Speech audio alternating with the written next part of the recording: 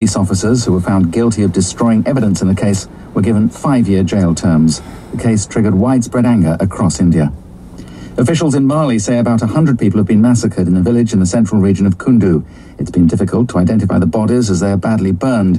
The entire village of Subaniku, inhabited by members of the Dogon ethnic group, is said to have been destroyed. Three leading Russian newspapers have come to the defense of an investigative journalist who has been charged with drug dealing. They've splashed across their front pages the words, We are Ivan Golunov.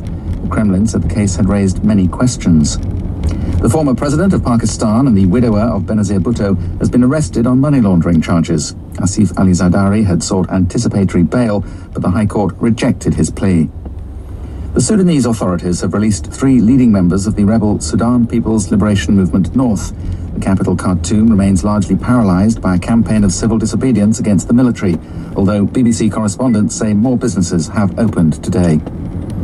A growing number of Hong Kong's residents say they will hold another rally on Wednesday in opposition to a proposed law that would allow individuals to face trial in mainland China. Some activists say they will start their protest late on Tuesday to try to delay a second reading of the bill on Wednesday. International observers say Sunday's presidential election in Kazakhstan was tarnished. They highlighted widespread voting irregularities and said the arrest of peaceful protesters showed a scant regard for international standards.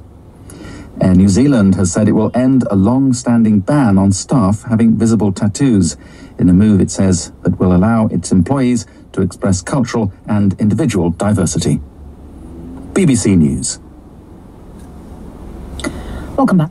Ну, доброе утро. Собственно, я сначала подумал, что новостей сегодня не будет, поэтому я камеру убрал, а потом не начались. А За бортом у нас 22 градуса, сегодня обещают 26 градусов, и, как вы поняли, вы сейчас прослушали BBC News, это британские новости.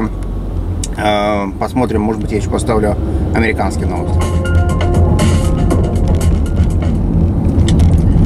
Live from NPR News in Washington, I'm Korva Coleman. The former White House counsel to President Nixon will go before the House Judiciary Committee today. NPR's Windsor Johnston reports John Dean will testify in the first of several hearings that will examine the findings of special counsel Robert Mueller's Russia investigation. The committee will hear from Dean as House Democrats try to build their case for impeachment against President Trump. Dean was a key figure in the Watergate hearings that helped push former President Richard Nixon to resign from office. Today's hearing is not part of a formal impeachment proceeding against Trump, and Chairman Jerry Nadler has so far complied with House Speaker Nancy Pelosi's preference for terms such as inquiry. An NPR PBS NewsHour Marist poll shows the number of Americans supporting impeachment has increased to a narrow majority. The president on Sunday lashed out over the planned hearings, reiterating that special counsel Robert Mueller's report found no obstruction or collusion on his part.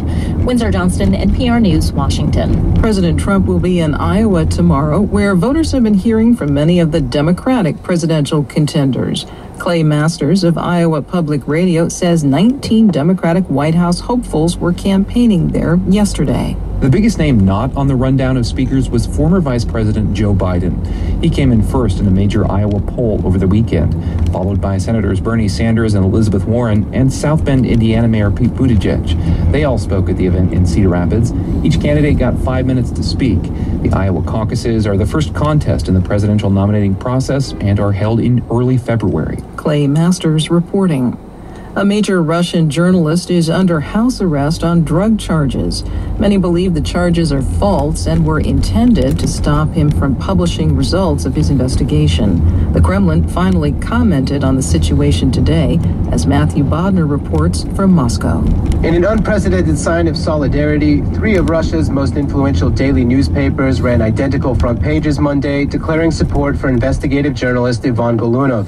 These papers called for an investigation into the conduct of police officers involved in his detention and did not rule out that he was framed for his investigative work. As of lunchtime Monday, copies of the three newspapers were selling out across the city. Golunov works for a fiercely independent online news outlet called Meduza. His editors believe he has been framed in response to an investigation he filed just before his arrest. The Kremlin only commented on the situation Monday, with spokesman Dmitry Peskov assuring journalists that the administration was monitoring the case and was aware of its resonance with the public. For NPR News, I'm Matthew Bodner in Moscow. On Wall Street, the Dow Jones Industrial Average is up 163 points at 26,147. The Nasdaq is up more than 96 points, up more than one and a quarter percent at 7,838. You're listening to NPR. Вот обратите внимание, что в американских новостях практически вся повестка исключительно внутренняя. Про Россию, конечно, вспоминали, но исключительно в контексте внутренней политики. И последняя новость тоже, я тоже обратил внимание, что на BBC, что на VPN, на VPR, и те, и другие вспомнили про ситуацию с Иваном Голуновым. И, собственно, опять же, новость не очень хорошая в плане того, в каком контексте она произносится. Всем откланиваюсь, всем отличного дня и счастливо. Пока.